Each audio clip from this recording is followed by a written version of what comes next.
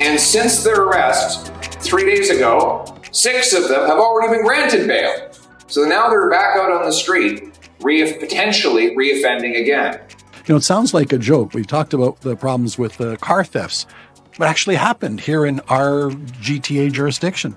Some guy's up before a judge for having stolen a car, gets let off, and went into the parking lot of the courthouse and stole another car. You can't make this stuff up. And that's what gets people frustrated. But can you imagine what it does to our enforcement people that say, here we are doing what it takes, the countless hours, efforts, energy, risk, and then we find out it's a bit of a catch and release system.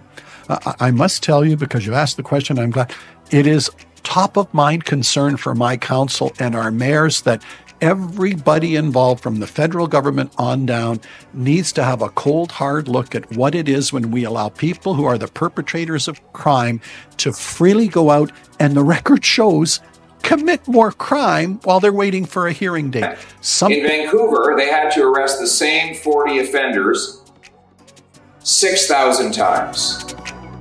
That's 150 arrests per offender per year. Each one of these guys is being arrested every second day. And those are the, just the crimes they're caught for committing. Then there's all the crimes they do that we don't even catch them on.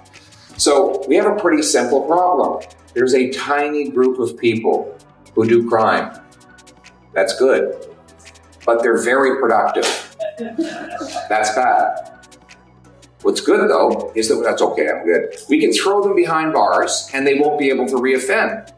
And so I'm going to make it so that we're going to pass a law making anyone with a long rap sheet ineligible for bail, parole, probation, or house arrest. Jail